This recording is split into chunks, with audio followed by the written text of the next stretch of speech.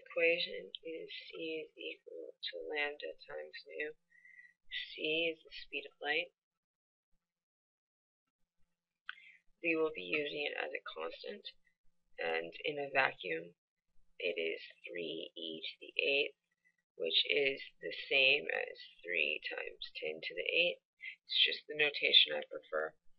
Um, these are meters per second. Uh, lambda is the wavelength,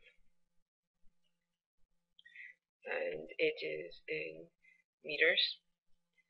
Nu, which is this V here, is frequency, and it is in 1 over seconds or hertz. Or hertz. Um, just a caution, nu is actually in the book like that. I would advise you to make it very distinguishable because later you'll use v, which is velocity, and if you have something like a tail on it, it's you won't confuse these two values. This will always be frequency, this will always be velocity.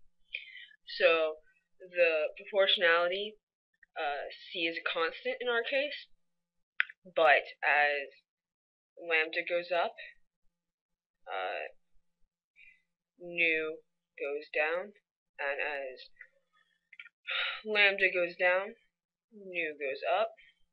So lambda is inversely proportional to nu.